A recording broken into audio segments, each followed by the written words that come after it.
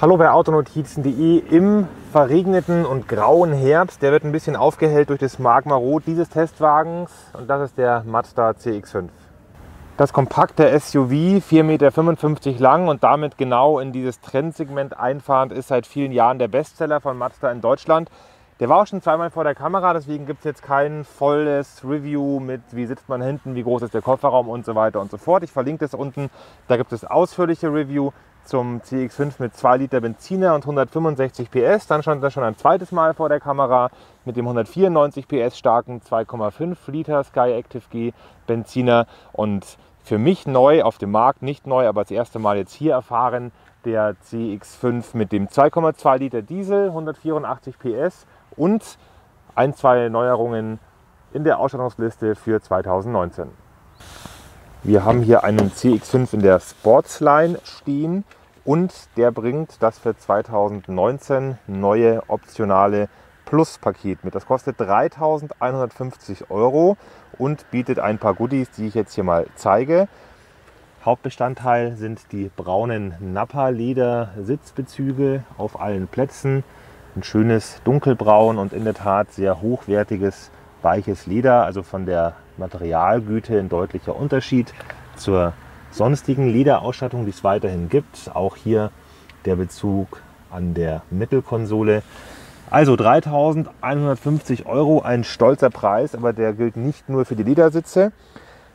Die kosten in Schwarz mit elektrischen Sitzen und der Lüftung für die Vordersitze 2200 Euro. Das hat auch das Pluspaket hier drin. Wir sehen hier die Perforierung in den Sitzmittelbahnen und hier unten die Sitzverstellung mit der Memory. Es gibt zwei Positionen, die man hier einstellen kann. Also 950 Euro. Dafür gibt es dann die braunen Nappa-Ledersitze. Zusätzlich die Dachhimmelausführung in Schwarz. Ist auch Teil des Pluspaketes. Wirkt sportlich, aber bringt doch ziemlich viel Dunkelheit in den Innenraum.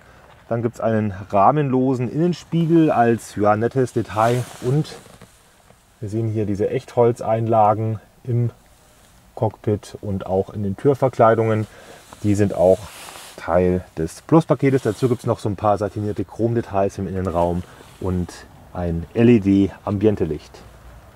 Neu in 2019 für den CX5 ist auch das Kombi-Instrument. Es sind nicht mehr einzelne Tuben wie bisher, sondern eine gemeinsame Abdeckscheibe für die analogen Rundinstrumente außen und in der Mitte erwacht jetzt zum Leben der digital dargestellte Tacho. Ist hier ein TFT-Display und wenn man dann hier den Motor startet, ich mache das jetzt mal, dann kann man sich hier mit der Infotaste im Multifunktionslenkrad hier die verschiedenen Menüebenen, die Fahrassistenten, Bordcomputer und zum Beispiel hier den AdBlue-Füllstand hervorrufen oder auch den Tacho groß anzeigen lassen. Wenn der Motor läuft, dann kommt auch ein weiteres interessantes Extra zum Vorschein. Wir sehen das hier in der Kamera jetzt nur nicht ganz ideal. Das Head-Up-Display, ich habe euch das im ausführlichen Review des CX5 bereits gezeigt, da aber mit Scheibe, die ausfährt.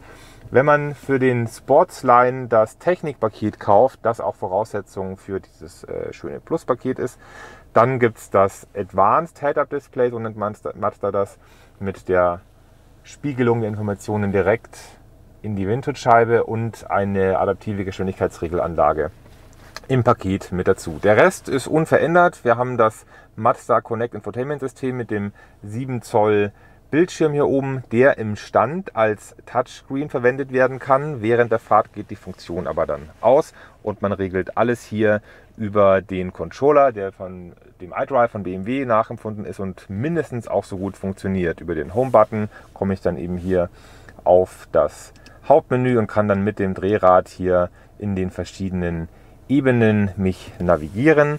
Dazu gibt es einen praktischen Lautstärke- und An-Ausschalter für das Audiosystem.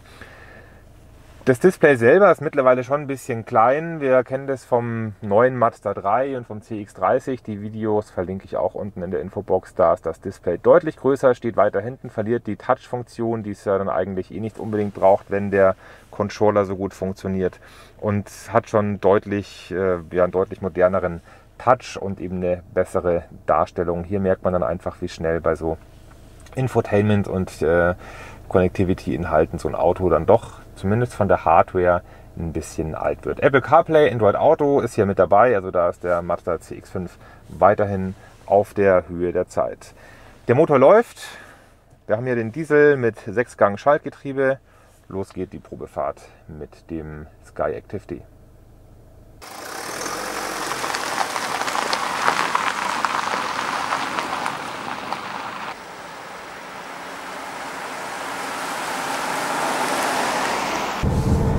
Den Diesel im Mazda CX5 gibt es in zwei Leistungsstufen, 150 PS und hier verbaut das Topmodell mit 135 kW, 184 PS.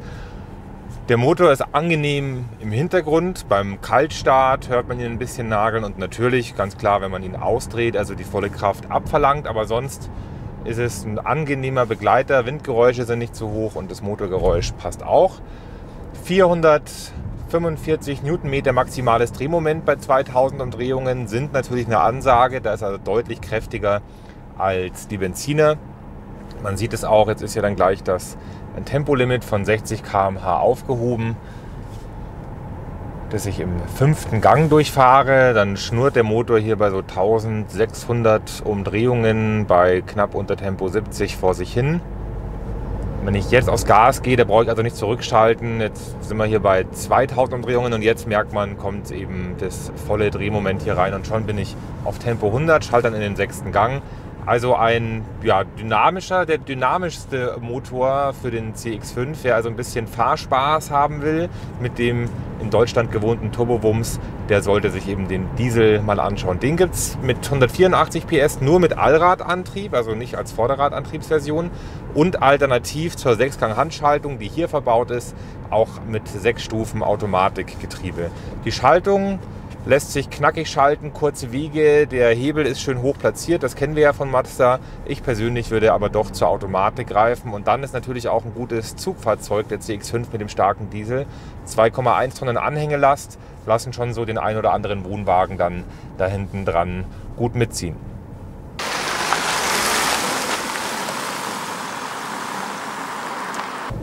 Man sieht es auch hier, wenn man aus dem Ort raus beschleunigt, Tempo 50 im dritten Gang. Gehe ich jetzt aufs Gas, ist natürlich gleich die volle Leistung da. Und ich kann den auch schön rausdrehen bis Tempo 100 und schalte dann direkt in den höchsten Gang. Der Verbrauch hält sich im Rahmen, trotz durchaus sportlicher Fahrweise. 6,6 Liter ist der kombinierte WLTP-Wert, das ist ja eh schon realitätsnäher. Ich habe auf meinen Testfahrten so 6,8 bis 6,9 Liter Diesel auf 100 Kilometer verbraucht. Also sehr nah da dran und durchaus ein akzeptabler Wert, wenn man bedenkt, dass wir doch ein 4,55 Meter großes und auch damit schweres SUV haben, was eben ordentlich Wumms hat und eine gute Ausstattung. An der Sitzposition hat sich natürlich nichts geändert. Man sitzt weiterhin schön hoch im CX5 und das ist auch etwas, warum sich natürlich Leute ein SUV kaufen und vielleicht auch für manche dann der ähm, Unterschied, den Ausschlag gibt für den CX5, wenn Sie im Vergleich den CX30 Probe fahren, der auf dem Mazda 3 basiert, bestimmt ein paar Kunden auch anspricht, die halt sich bisher vielleicht den CX5 ausgesucht haben, aber mehr Crossover als SUV ist. Der Sitz selber ist auch bequem gepolstert. Ich finde ihn nur, die Lehne ist so ein bisschen dünn und schmal für große Menschen. Da könnte Mazda dann beim Nachfolgemodell mal mit einer neuen Sitzanlage kräftig nachlegen.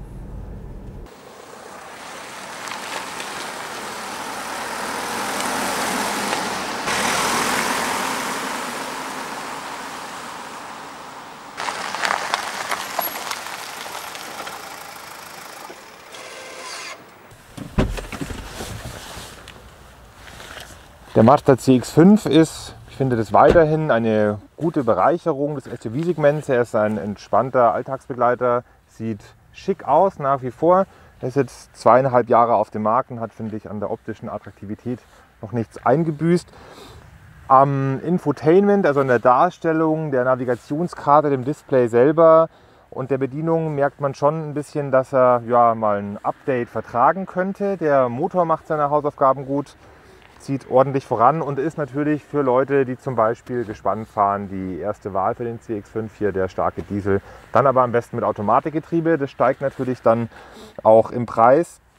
40.390 Euro kostet diese Motorvariante mit Schaltgetriebe in der Sportsline. Der Testwagen hier mit den beiden Paketen und dem Magma Rot Metallic kommt dann auf 45.480 Euro. Das ist natürlich schon eine Stange Geld. Manche Kunden, die jetzt den Allradantrieb nicht unbedingt brauchen und mit bisschen weniger Platz zufrieden sind, werden sich gewiss den CX30 anschauen. Und ich vermute, dass der CX5 als Nachfolger, der so in eineinhalb, zwei Jahren kommen müsste, dann auch nochmal ein Stück wachsen würde, um eben hier mehr Platz in der Modellpalette für den CX30 zu schaffen. Und dann soll der auch mit Sechszylindermotoren kommen. Das ist natürlich nochmal sehr interessant. Das war ein kurzes Update zum Mazda CX5, eben mit dem neuen Ausstattungspaket und für mich die neue Erfahrung, auch den Diesel mal zu fahren und euch zu zeigen. Ich hoffe, euch hat dieses Videoformat mit der Konzentration auf die wesentlichen News gefallen. Lasst es mich doch in den Kommentaren wissen und schaltet auch das nächste Mal wieder ein. Vielen Dank fürs Zuschauen und für das Lesen des Fahrberichts. Verlinkt den wie immer. Unten ist der Link bei autonotizen.de. Bis zum nächsten Mal. Ciao.